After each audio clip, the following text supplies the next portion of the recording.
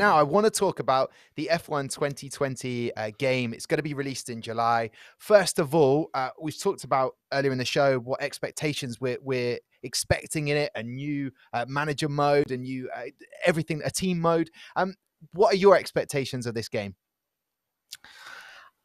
it's gonna stay a great game. I really like how Codemasters embraces the whole career side and, and makes the game interesting to to play also as a single player.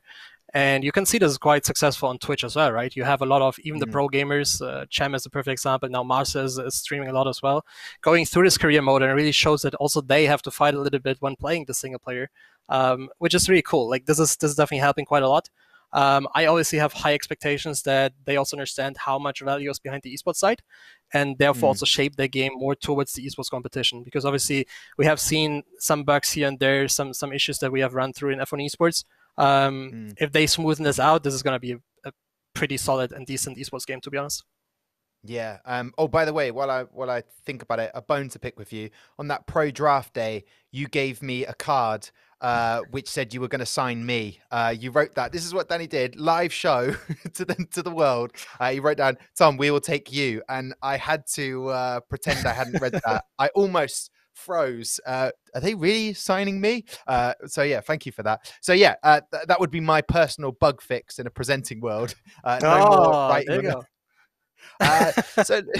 So okay, so so a few things to work on. What do you make of the introduction of um, the if there's a Michael Schumacher special edition, you get to drive in the four most iconic cars in in his career. That uh, there's fun elements, but but in terms of the gaming aspect, uh, split screen, could that possibly be helpful for your team when they're when they're driving and uh, bettering their their their drives?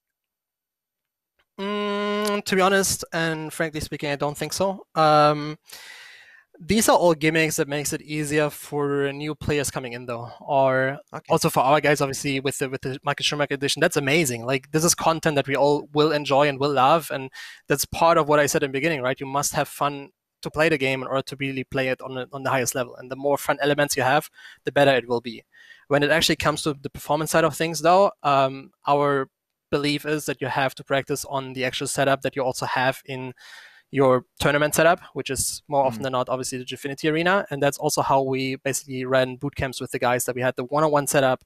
Literally the same thing they also used in London. Um, and that's also what they will try to replicate their practice on inside of the game as well. They, they will try to run the long runs as well as they run it in the actual competition.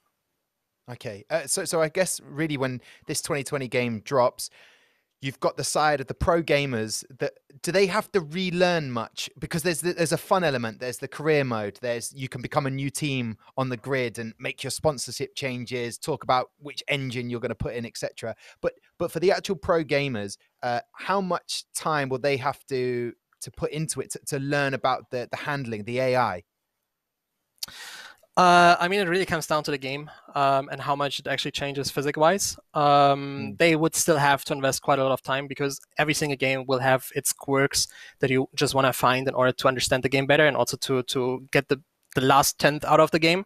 So that's where they will surely invest a lot of time.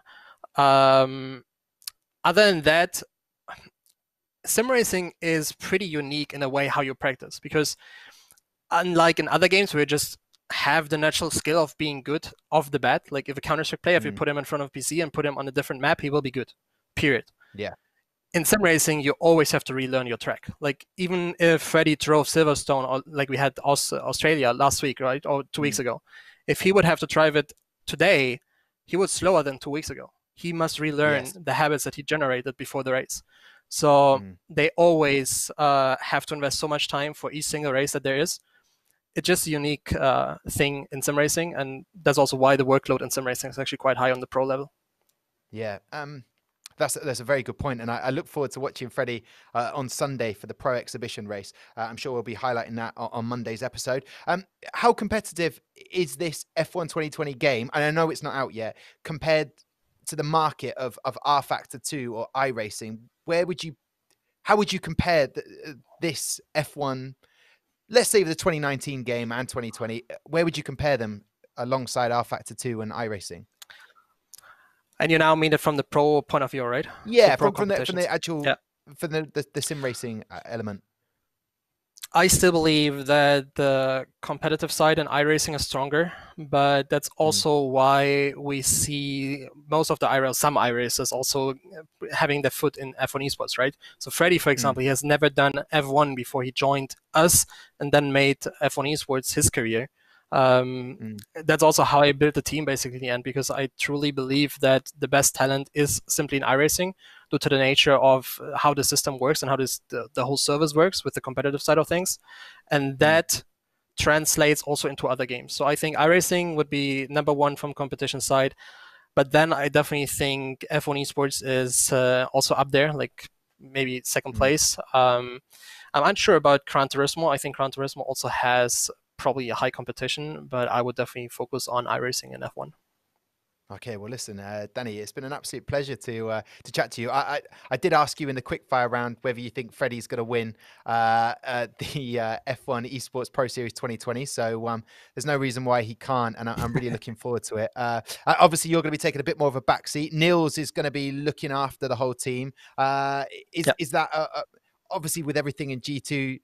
You've got a lot going on. Congratulations on that. But but in terms of the Red Bull team, are you happy with where things are whenever the season starts? Yeah, I mean, looking back 13 years ago, Niels knows how it feels to be second. Um, so, so, he will now have a better time, better time mentoring Freddie, who just finished second. Uh, no, just jokes aside. Uh, Niels is, is doing a massive job. He also has a similar uh, profile than I had, right? So he can also mentor the guys in the same fashion. I also believe Niels has a, even more focus on setup and, and the physical side of the sport as well. Um, so combining us both is hopefully the formula to, to push the guys even further and into another world championship title next year, yeah, or this year. Yeah, well, fingers crossed. Well, listen, Danny, uh, thank you so much for being part of Nitro Nights. Uh, I can't wait to uh, get the season started, and and um, it's a shame that we haven't seen your dog Rocky. But listen, uh, a pleasure to have you on the show. Uh, enjoy the rest of your time, and hopefully we'll get you back on soon. Uh, and to everybody else, thank you for watching this episode. We'll be back on Monday. Don't forget all of the races taking part and place on Sunday. I'll be doing the F1 Virtual Grand Prix in China, so come along and watch that. In the meantime, stay safe and see you again soon. Thanks a lot, Danny. Thanks as well, Tom.